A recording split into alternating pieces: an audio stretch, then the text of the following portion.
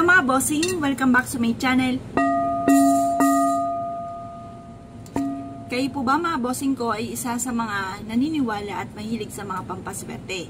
Meron po ako share po sa inyo po mga bossing. Pwede nyo po itong gawin mga bossing.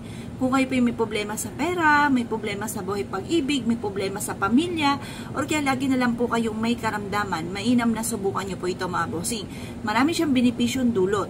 Gawin nyo po ito kahit anong araw, basta na ibigyan nyo siyang gawin kung pagka kayo ay parang, halimbawa may pinanood kayo, huwag niyong pipilitin yung sarili ninyo na parang, ay kailangan ko itong gawin kasi ano, tapos kayo naman po ay hindi naniniwala or kaya po ay kung ano yung binubukan ng bibig po ninyo, iba naman ang tinatakbo ng inyong isipan. Asya, huwag muna kayong gagawa kapag ganyan na sitwasyon. Dapat pa mga bossing, kung ano yung binubukan ng bibig, yun din po yung tinatakbo ng ating isipan at nagmumula sa puso ang pagwiwish mga bossing. Ako pa mga bossing, kapag po kayo nagdadasal, hindi po natutupad ang aking mga hinihiling kapag ganyan po yung aking sistema. Kaya kailangan pa mga bossing ko, baguhin natin yung ating sistema. Ang unang-una mga bossing ko, kailangan po natin ng kandilang pula. Ngayon po mga bossing, kung halimbawa wala kayong kandilang, kandilang pula, pwede naman po yung puti kasi ang madalas na binibili ng tao ay kulay puti. Or kaya pa kulay dilaw, pwede rin po yan. Ngayon pa mga bossing, pwede rin po. Basta kahit anong kandila na meron kayo na hindi ka na mape-pressure pa na malulungkot pa, sabihin nyo, eh paano yun, wala akong ganito, wala akong yung kagay sa video. Kung ano meron kayo, mga bossing. Ngayon pa mga bossing, kailangan din po natin ng oregano. Isang dahon lang po mga bossing ko ng oregano. Ang bilhin yung kandila, yung ganitong pinakamaliit, pinakapayat mga bossing. Tapos po mga bossing ko, yung oregano, isang ano lang, isang dahon lamang po mga bossing. Magwi-wish ka lamang.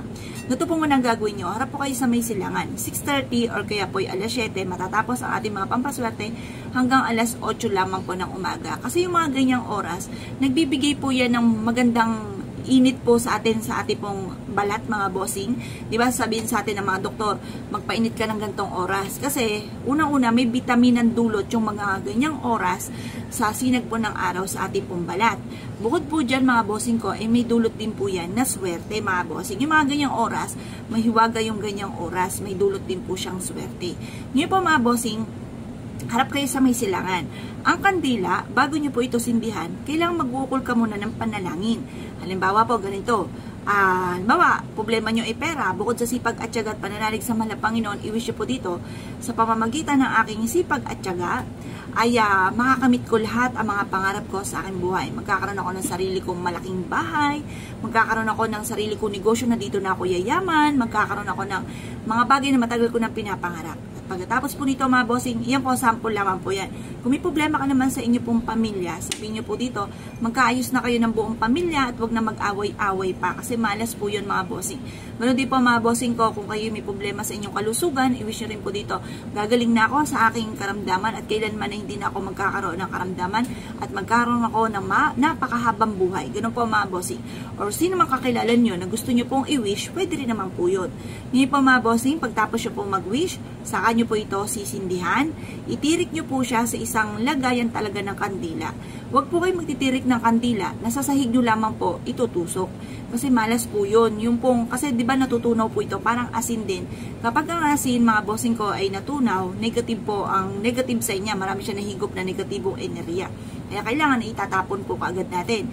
Pero pagdating naman sa kandila, kapag po ito ay natunaw mga bossing, kailangan lilinisin mo kaagad. Huwag nyo hayaan siya doon kasi instead po na matupad yung inyong mga wishes, maaaring kayo po alatin pa mga bossing kasi malas po ito na natutunaw dyan sa ating sahig mga bossing. Kaya maglagay ka lamang po ng uh, patungan po niya. Pwede rin naman ng platito kung wala kang lagayan ng kandila or kaya po ay baso. Pwede rin naman po siya mga bossing.